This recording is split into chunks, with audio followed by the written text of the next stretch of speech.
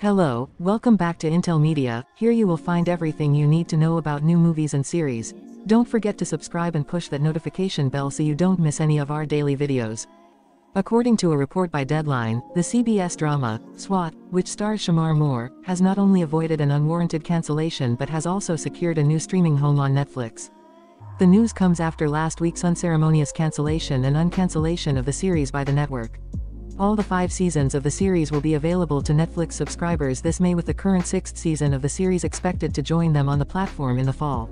The seventh season will wrap up the long-running series for good. As part of CBS, Deal for SWAT, the current seasons of the series are available on Paramount Plus for their duration as well as a few months after they end their broadcast run. The series' first three seasons are also currently available on Hulu to stream. Meanwhile, over at Netflix, SWAT co-showrunner Sean Ryan's newest series, The Night Agent, delivered an impressive first-season run at the streamer, debuting in the weekly top 10.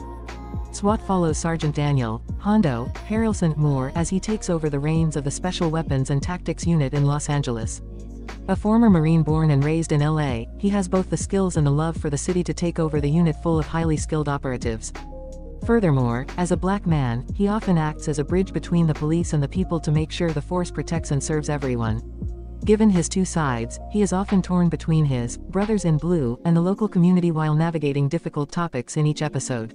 The series is based on the 2003 movie of the same name as well as the 1975 series of the same name. The fifth season of the series saw a surge in viewership on the network and when the cancellation news broke fans were enraged. However, the network read the room and instantly revived the series for a seventh and final season with a limited 13-episode run. The series is a fan favorite for its social commentaries as well as the comfort of a procedural show. Ryan developed the procedural crime drama with Aaron Rahsaan Thomas. It features Moore as Hondo, Stephanie Sigman as Jessica, Jay Harrington as David, Deacon, Kay, Alex Russell as James, Jim, Street, Kenny Johnson as Dominique Luca, Peter Onorati as Jeff Mumford, David Lim as Victor Tan, Patrick Street. Esprit is Commander Robert Hick, Amy Farrington is Lieutenant Detective Piper and Rochelle Aytes. Currently, there's no release date for the seventh season, but the season 6 finale will air on May 19th. Seasons 1 to 5 drop on Netflix on May 17th.